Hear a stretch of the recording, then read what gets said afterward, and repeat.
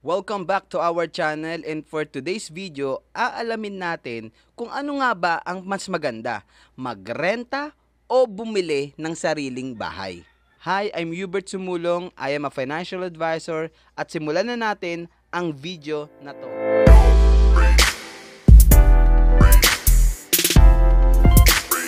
Kung turn ka between two ideas, kung magrerenta ka ba o bibili ka ng bahay, at di mo alam kung ano ba ang mas maganda.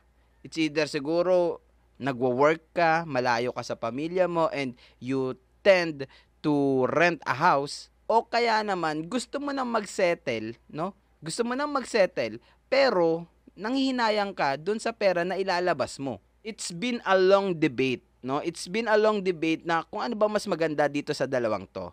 Pero I think hindi siya ganun kasimple. Dapat merong mga criteria para masabi na this is for you and this is not for you. So naghanda ako ng sampung criteria na pwede nating gawing basihan para masabi natin na itong renting ay mas maganda kesa sa pagbili ng bahay or vice versa. So number one criteria is yung mobility. So itong mobility, ilalagay natin dito sa renting. Kasi advantageous to sa mga nagrerenta. Kung gusto mong umalis sa isang bahay, pwedeng pwede walang pipigil sa'yo. You can easily transfer. Nandun talaga yung mobility. Basta naisipan mong umalis or kailangan mong umalis, nasa iyo, walang pipigil sa'yo. As compared na bibili ka ng sarili mong bahay, hindi ka kaagad makakaalis kasi napakadami mong i-consider. Nandiyan na yung nag-invest ka na, 'di ba? Marami ka nang uh, nilabas na pera sa pagpapagawa. So walang mobility. Number two is ownership or equity. Ilalagay natin to, of course, dito sa buy. Kasi kung bibili ka ng sarili mong property, meron kang ownership doon. Kapag ka nagka-emergency, pwede mong ipagbenta. Or kung uutang ka man sa bangko, pwede mo siyang gawing collateral. May mga tao kasi na ang gusto talaga, yung tinitirhan niya is sa kanya. So kung ganun kang klaseng tao, then buy a house. Kasi as compared sa mga nagre-renta, no, kahit gaano mo kagusto yung property na yon, eh hindi, kahit kailanman hindi magiging sa'yo yung property na yon kasi nagre-rent ka lang. So there is an ownership, you have an equity on that property. So pasok yan kay buy. Number 3 is maintenance and repair. Ilalagay natin to sa rent. Kasi mas makakatipid ka sa maintenance and sa repair kung ikaw ay nagre-renta. Kasi unless stated sa contract, eh hindi ikaw ang gagastos ng maintenance and repair. Kadalasan yan yung may-ari talaga ng property. Whereas kung ikaw ang may-ari ng bahay, sagot mo lahat ng maintenance and repair. Mga pintura, tulo ng bubong, 'di ba?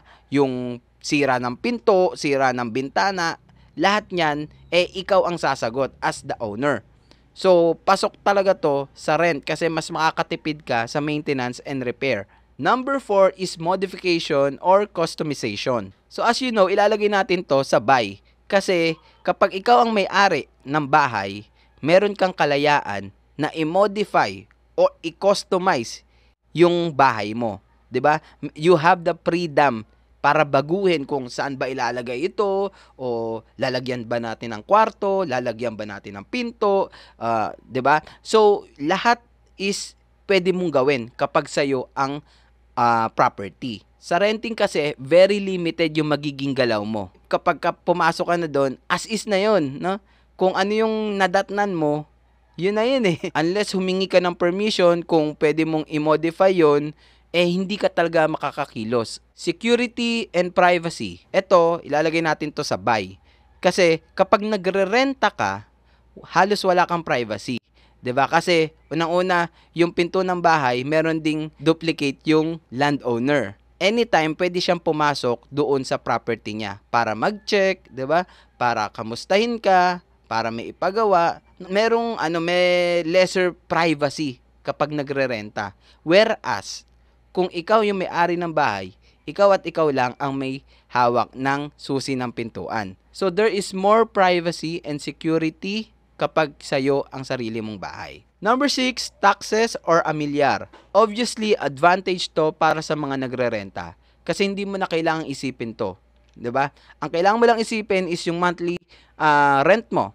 You don't have to think of the taxes or amilyar ng property na yon. Kapag sa iyo ang bahay, kailangan mo magbayad ng amilyar, kailangan mo rin magbayad ng homeowners association, membership and fee, yung mga monthly dues niya, garbage collection, yung security, lahat babayaran mo yan.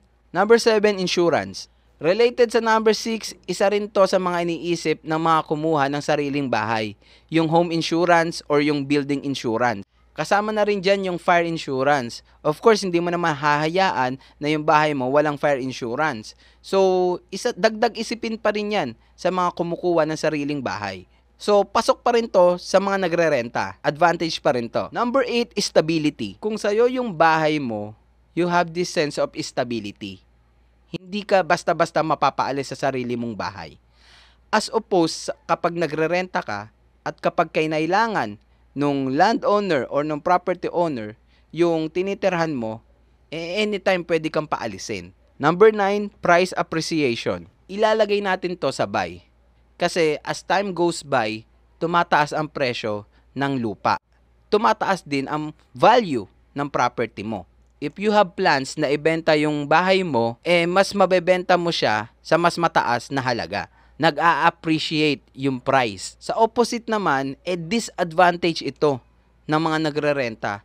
Kasi as time goes by din, eh mas lalong tumataas ang rental fee na pwedeng singilin ng mga landowners. So bilang nagre-renta, ang choice mo lang is either uh, umalis ka dun sa nirerentahan mo or i-absorb mo yung pagtaas ng presyo ng renta mo. Lalo pa kung business district or business uh, center yung tinitirhan mo, eh napakadalas magbago ng rental fee dyan. Number 10, sense of pride. Of course, ilalagay natin to sa buy. Ito yung malaking factor kung bakit talaga tayo kumukuha ng sarili nating bahay.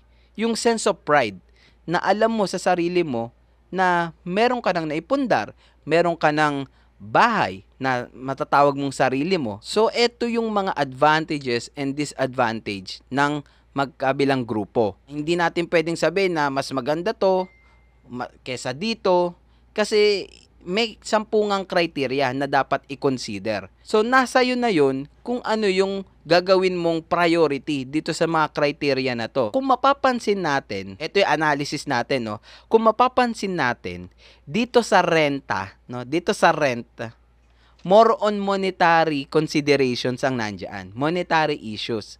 For example, yung savings sa uh, taxes, savings sa maintenance and repair, savings sa insurance, lahat yan monetary issues eh. Whereas, yung mga non-monetary, eh nandito sa buy. Nandyan yung stability, nandyan yung modification and customization, nandyan yung sense of pride, privacy and security, nandyan yan nagbo-boils down yan sa kumbaga kung kung kaya mo na, eh nandito ka na.